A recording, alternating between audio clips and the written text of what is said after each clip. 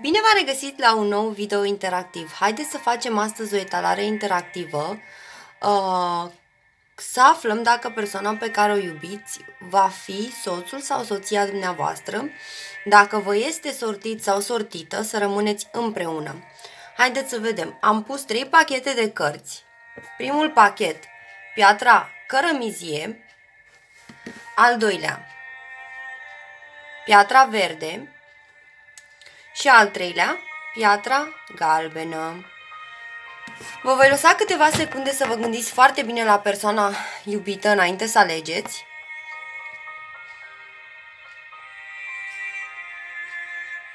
Bun, haideți să vedem pentru cei sau cele care ați ales primul pachet de cărți cu piatra cărămizie.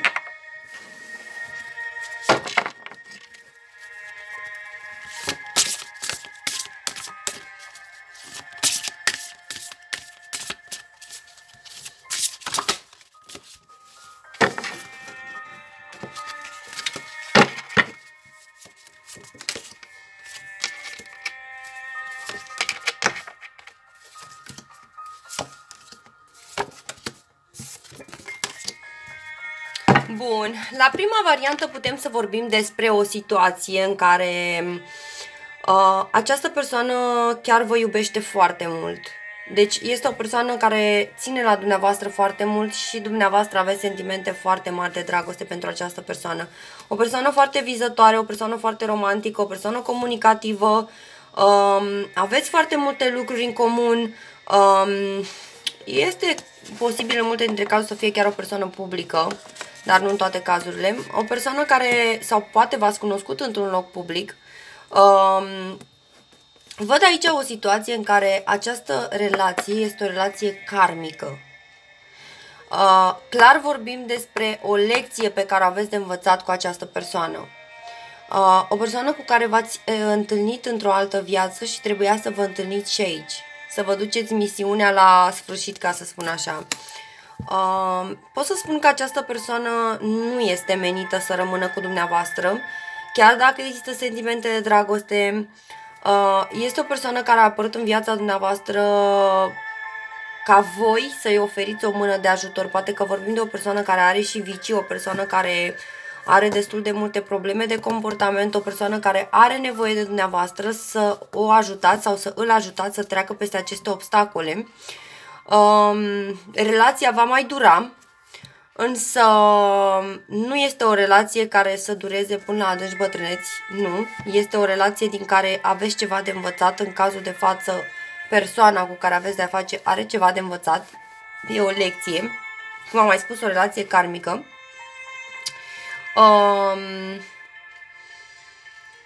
din păcate pentru voi, Uh, deși cumva în sufletul dumneavoastră parcă știți acest lucru, uh, parcă simțiți acest lucru, chiar dacă iubiți foarte mult această persoană, nu sunteți persoane egoiste să vă gândiți uh, um, cu ură sau cu răutate că această persoană nu va rămâne cu dumneavoastră pentru totdeauna. Uh, pur și simplu e o bucurie pentru dumneavoastră că reușiți să ajutați această persoană, că reușiți să fiți alături de el sau de ea și asta este o împlinire sufletească pentru voi.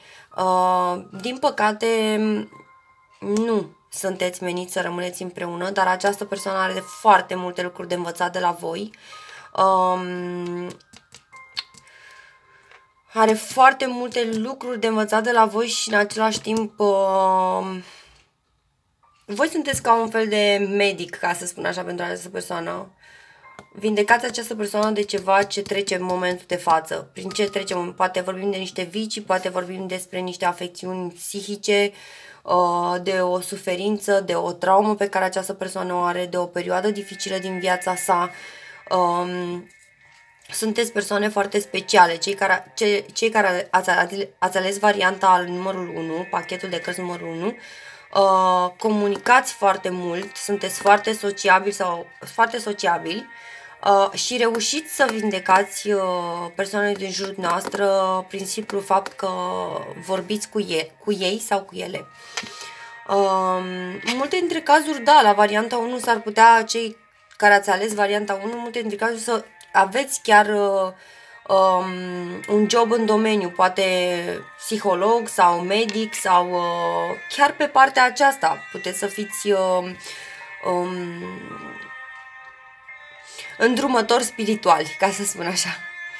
Bun, aceasta a fost varianta 1.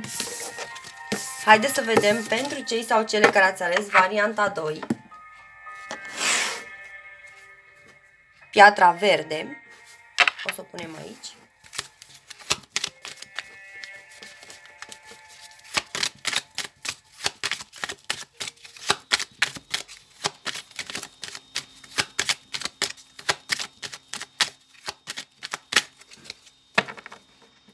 Haideți să vedem.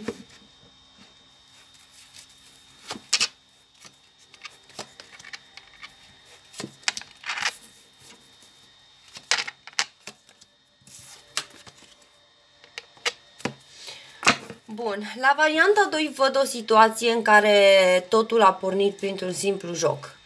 Um, văd că în multe dintre cazuri s-ar putea să fie o persoană pe care o cunoașteți de foarte mult timp. Poate fi și o persoană mai în vârstă decât dumneavoastră sau o persoană care o cunoașteți de foarte mult timp, din copilărie sau din adolescență. O persoană care... Um, care o să aveți... Deci Clar, la etalarea numărul 2 vă spun din prima că sunteți uh, sortiți să fiți cu această persoană. Uh, această relație va dura până la adânci bătrâneți. Deci veți fi cu această persoană mereu. Uh, văd foarte multe emoții, foarte multe sentimente frumoase, foarte, multe, foarte multă dragoste din partea acestei persoane și din partea dumneavoastră. Uh, este doar o chestiune de timp. Pentru că există mici obstacole aici în multe dintre cazuri s-ar putea să fie vorba despre faptul că această persoană are totuși niște obiceiuri vechi, poate vorbim despre niște vicii, uh, sau poate infidelități, sau poate de ce nu să fie implicat sau implicată într-o altă relație care urmează să o termine.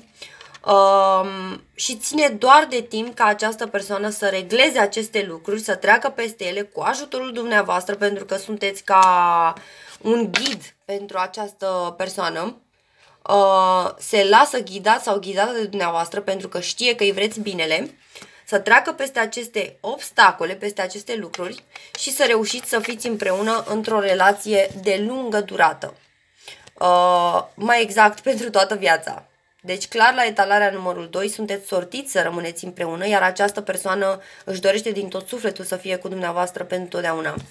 Este o persoană care nu pot să spun că v-a mințit sau că v-a ascuns lucruri, numai care anumite problemuțe, ca să spun așa, uh, a venit cu ele deja în relația dumneavoastră și oarecum știați de ele dinainte. Um, și lucrurile acestea pot să spun că le veți regla împreună. Veți reuși să treceți peste ele împreună. Um, vreau să mai pun încă, la etalarea asta vreau să mai pun încă trei cărți. Bun, îmi dau seama aici că vorbim despre unele dintre piedici sunt faptul că această persoană s-ar putea să aibă niște probleme uh, psihologice, psihice, emoționale, uh, peste care nu poate să treacă foarte ușor. Poate vorbim despre, uh, cum am mai spus, ține de timp și de așteptare.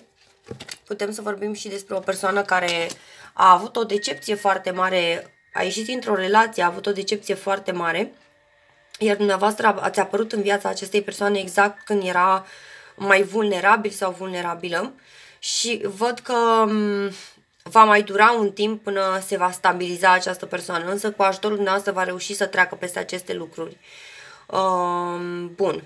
Cam asta a fost etalarea numărul și etalarea numărul 2. Haideți să vedem pentru cei sau cele care ați ales etalarea numărul 3. Ultima. Cu piatră scuzați, cu piatra galbenă.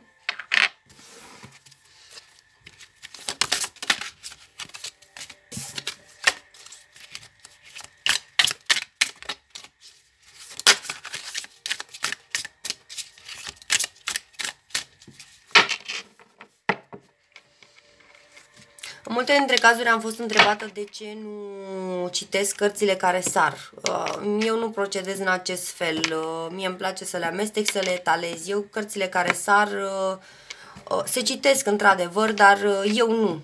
eu nu le iau în uh, considerare. Bun, haideți să vedem.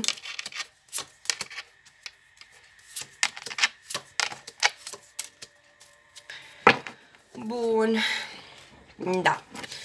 La etalarea numărul 3 avem de-a face cu o situație destul de dificilă. De ce spun asta? Pentru că uh, persoana de care ați întrebat s-ar putea să fie o persoană care este căsătorită, ori o persoană care este implicată într-o altă relație. O persoană cu foarte multe vicii din câte văd aici. O persoană care are de-a face cu cineva. Poate să fie în cazul în care este un, uh, o persoană căsătorită să aibă de-a face cu cineva care îi face farmece, lucruri oculte, uh, ca să nu fie cu dumneavoastră o persoană foarte rea, o persoană foarte egoistă, o persoană foarte ambițioasă, orgolioasă, care nu renunță cu una cu două. Uh, văd că mulți, din, mulți dintre voi v-ați dorit să vă căsătoriți, să ajungeți la căsătorie cu această persoană și vă doriți încă să ajungeți la căsătorie cu această persoană și simțiți că momentan acestea sunt doar vise.